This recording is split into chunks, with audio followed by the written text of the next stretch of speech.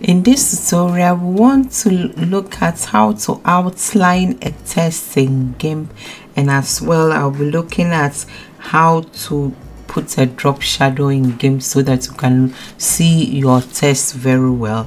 But first of and another thing also that I want to talk about is that um, th there's a new version of GIMP that was released on the 4th of October of this year that is 2020 so um that's the new version is what i'm using. So if you can always check which version you are using by going to help and going to about gimp. And then here you see that it tells you updates available. I've already updated mine so this is the newest version 2.10.22 if yours you've not updated yours you can always press here and then you download it and after downloading and running it it will update it for you. Okay. So now let's go for our text tool and then when you go for your text tool you see this this dialog box opening and then you can you can just click here and start writing something. Or if you don't want to do that you can also always um, let me go back here again. You can always always uh, come here and then drag this to give you a box and then you can write in. If you see here this is also a dialog box that you can also use to change your your font type the the size of your font is here and the color. It's the same thing here. The difference is that this is just for one time. When you do something if you change it here it will continue to be there until you update it again. Now i will just stick to what i have now. I have i'm using serif bold. You can press here and change whatever you want and then the size i'm using 200 now let's write something. I write something like love here and then i would now go here and go to the layer that the love is on and then right click it and then go to alpha to selection? So that it selects the lab for you or whatever you've written there. Now i want to come here to select. There are two options you can use. You can either use shrink um, or grow. I will first of all show you how to use the shrink. So uh, so that to shrink it a bit and then we'll give it also a different color. Let's press shrink now and then maybe we we will se select area continue outside the image.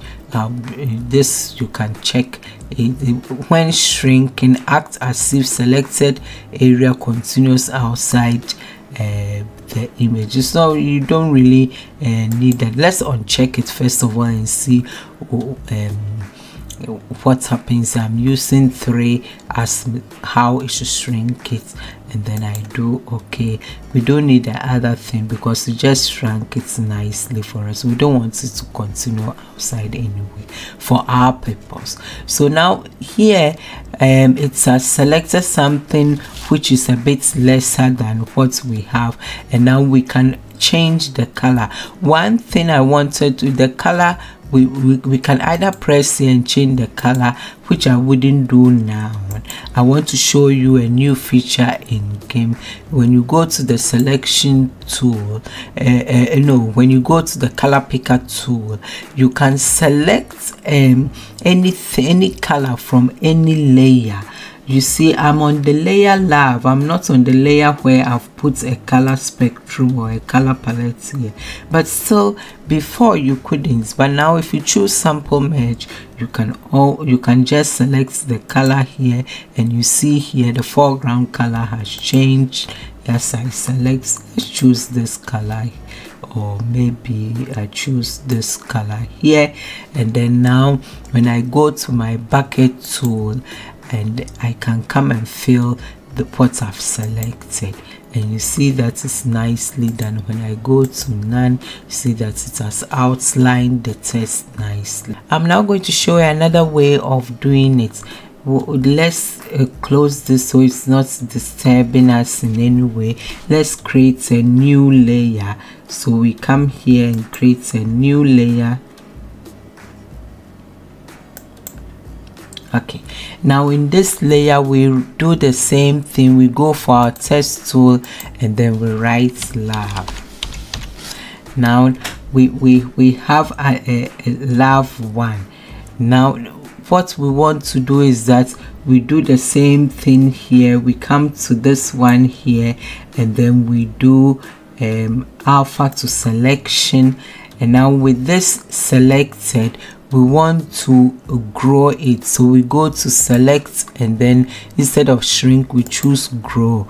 And then we grow it 10 pixels. So choose right 10 here and do okay. Now you see it is grown like this. Now one thing i would do is that as it has it is grown i want to create a new um, layer and then I want to uh, color it there. So I create another layer here and then um, I can come again with my uh, picker tool here and then come to any uh, choose a, a color somewhere here or, or to change it. Um, let's choose. Or maybe this time I choose a color here to show you in case you don't know how to do that one.